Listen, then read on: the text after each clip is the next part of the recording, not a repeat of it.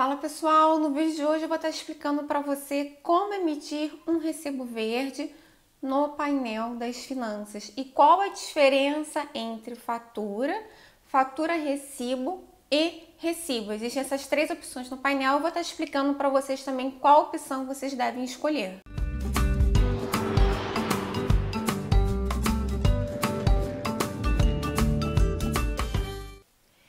Então, pessoal, eu já vou começar esse vídeo já direto com o tutorial, já vou mostrar para vocês aqui direto a tela. Esse aqui é o site das finanças, o portal das finanças. Para você conseguir acessar, você já tem que ter a senha para acessar esse portal. Eu expliquei isso no vídeo anterior, como é que faz para conseguir ter essa senha. Seja pessoa que já tenha um endereço, é, a morada fiscal em Portugal ou ainda esteja como representante fiscal. Eu expliquei isso no vídeo anterior. Eu vou deixar o link aqui na descrição caso você não tenha assistido esse vídeo, como pedir a senha para acessar o painel das finanças. Bem, vamos começar aqui então. A gente vai clicar em iniciar sessão. Aqui você vai estar colocando o seu número de NIF e a sua senha e vai clicar em autenticar. Pronto, ele já vai te levar direto para o painel das finanças. Nesse caso aqui é um exemplo de quem já tem atividade aberta. Num próximo vídeo eu vou estar explicando como abrir atividade. Aí você vai clicar aqui em faturas e recibos verdes. No caso deu erro, vamos tentar de novo. Gente, ficou fora do ar o site das finanças. Olha que meleca. Ó, Funcionou, tá vendo? Se o erro insistir, existir, persista que o negócio volta a funcionar. Aqui em consultar é para quando a gente já emitiu é, faturas, recibos ou faturas de recibos. No nosso exemplo aqui, a gente vai estar tá emitindo um recibo verde novo. A gente vai clicar aqui em emitir. Aqui ele vai te dar duas opções: fatura ou fatura recibo e recibo. Vou explicar a diferença dos três aqui. A fatura é quando você é, prestou um serviço e ainda não recebeu esse valor, né? Você vai emitir uma fatura, vai entregar ao seu cliente, ele vai fazer o pagamento em alguma data posterior. Ele fazendo o pagamento e você recebendo esse valor na sua conta, aí você vai voltar aqui e vai clicar em recibo porque você já emitiu uma fatura, alguns dias depois ele fez o pagamento, feito o pagamento, e você emite um recibo informando que recebeu esse valor. E existem situações em que você prestou o serviço e o cliente já pagou para você de imediato. Aí você vai emitir a fatura recibo, porque é uma questão da fatura do serviço e o recibo por ele já ter pago. Bem, eu vou fazer aqui um exemplo mais comum que a gente emite a fatura, entrega para o cliente, alguns dias depois ele faz o pagamento, aí depois você volta aqui e emite o recibo. Vamos clicar aqui em fatura. Aqui você vai estar preenchendo a data, eu vou colocar aqui a data de hoje. E aqui você vai escolher o tipo, eu vou escolher fatura, porque eu estou simulando aqui que eu prestei um serviço para um cliente, mas eu ainda não recebi. Eu estou faturando o serviço para ele. Vou escrever fatura. Aqui já vai aparecer o seu, o seu, as suas informações.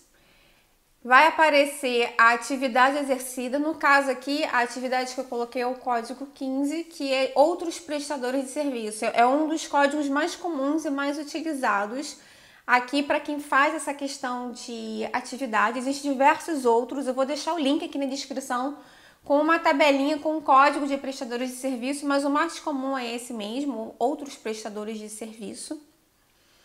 Aí você vai descendo. Aqui, na parte de adquirente, você vai estar colocando os dados do seu cliente. Eu vou preencher aqui, que eu já deixei aqui, os dados de um cliente, porque eu trabalho com construção de sites, né, para pessoas aqui, para lojistas aqui em Portugal. E eu já vou colocar um aqui de um cliente aqui para poder habilitar a tela restante.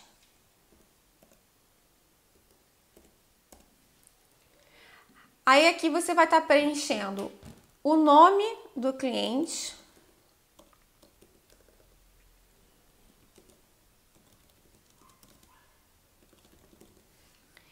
e o endereço do cliente.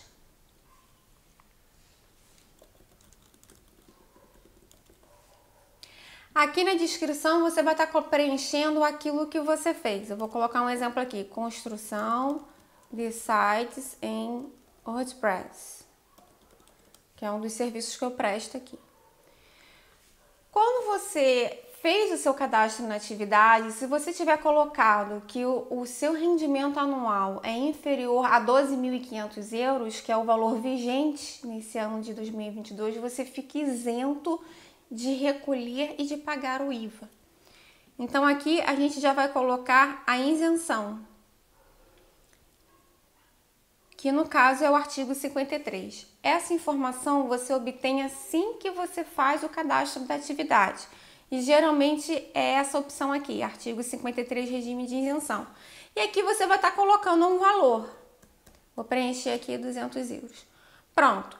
Feito isso, você clica em emitir depois que você emitir, ele vai aparecer uma, uma tela né, com um recibo verde mesmo. Deixa eu mostrar aqui para vocês. Ó, já coloquei aqui na tela para vocês verem. É assim que fica um recibo verde. Ele é verde mesmo. E ele, ele é destacável, né? Vocês conseguem ver a primeira parte que é original e a segunda parte, que é o duplicado, com as informações que você redigiu naquela tela. Feito isso, e o cliente pagou, né? O cliente já fez o, o pagamento, você vai estar tá voltando aqui na tela, né? Vamos supor, o cliente já fez o pagamento, já recebeu na sua conta. Você vai clicar em emitir, aí você vai vir aqui em recibo. Aqui no caso aqui não tem nada, mas aqui vai estar tá constando a fatura que você emitiu. Aí você vai estar tá selecionando ela e vai clicar em emitir recibo. E esse recibo depois você vai estar tá entregando para o cliente, que é um comprovativo de que você, de que ele pagou e você recebeu pelo valor. Bem, é isso, pessoal. espero que esse vídeo tenha te ajudado. Caso tenha ficado alguma dúvida sobre essa questão de emitir recibos verdes, ou qualquer outra coisa do gênero sobre atividade, deixe aqui nos comentários a sua dúvida, que se eu puder responder, se eu souber responder, eu vou ter o maior prazer. Se inscreve no nosso canal, compartilhe esse vídeo com outras pessoas, porque isso ajuda bastante o nosso canal, além de ser muito gratificante para a gente continuar trazendo novos conteúdos para vocês. Até o próximo vídeo!